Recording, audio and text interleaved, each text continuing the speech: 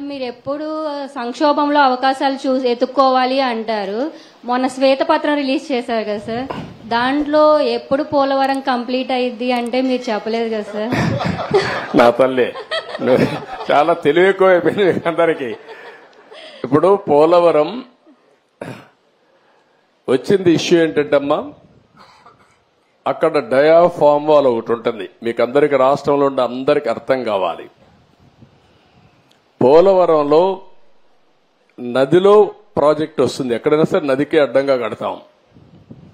పోలవరం నదినే తిప్పి ప్రాజెక్ట్ కడుతున్నాం. ఈ నీళ్ళు పక్కకు తీసుకొచ్చి అక్కడ ఎర్త్కమ్ డ్యామ్ అంటే ఒక పెద్ద డ్యామ్ కడతాం. పోలవరంలో ఏంటంటే కిందన పొరలన్నీ ఇసుక పొరలు ఉన్నాయి నీళ్ళన్నీ వెళ్ళిపోతాయి. అవి అరెస్ట్ చేయాలి.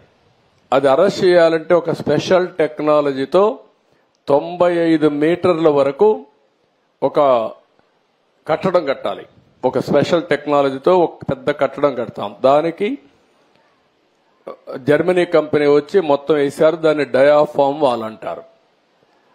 అది నేనేం చేశానంటే పోలవరంలో ఆరు నెలలే పనులు అవుతాయి జూలై నుంచి వర్షాలు వస్తాయి.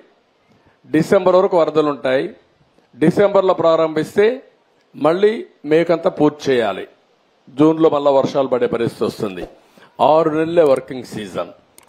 నేను కష్టపడి రెండు సీజన్లో ఆ డయాఫామ్ వాల్ పూర్తి చేశాను. చాలా ఇబ్బందులు పడి. తర్వాత స్పిల్వే కట్టాం అవన్నీ పూర్తయినాయి. ఈ పని చేయాలంటే ఎర్తకమ్ డ్యామ్ కట్టాలంటే పక్కన రెండు వాల్స్ కట్టాలి. అవి కాఫర్ డ్యాములు అంటారు. దానికి కూడా నీళ్ళని రాకుండా కొంతవరకు డ్రౌటింగ్ చేయాలి. డ్రౌటింగ్ కూడా చేసి అక్కడి నుంచి కట్టుకొని రావాలి. కరెక్ట్గా నేను అధికారంలో ఓడిపోయింది మేలో ఓడిపోయాం. మే జూన్ వరకు కానీ పనిచేసి ఉంటే డయాఫామ్ వాల్స్ అన్ని పూర్తి చేసేసి ఉంటే నీళ్ళు అక్కడికి వచ్చేటి కాదు. ఒక చిన్న గ్యాప్ ఉంటే కాంట్రాక్టర్ మార్చారు ఆఫీసర్లు మార్చారు.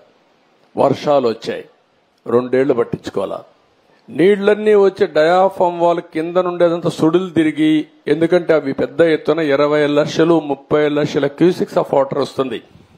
దేశంలోనే ఎక్కువ నీళ్ళు ప్రవహించే నది గోదావరి ఇప్పుడు. ఆ నీళ్ళన్నీ వచ్చి సుడులు కొట్టేసింది. కిందన మట్టి అంతా ఇసుకంతా తీసేసి కొట్టుకొని వెళ్ళిపోయింది. ఆ సుడులతో కాఫర్ డ్యామ్ దెబ్బతినింది డయాఫామ్ వాల్ దెబ్బతినింది. ఇప్పుడు నువ్వు అన్న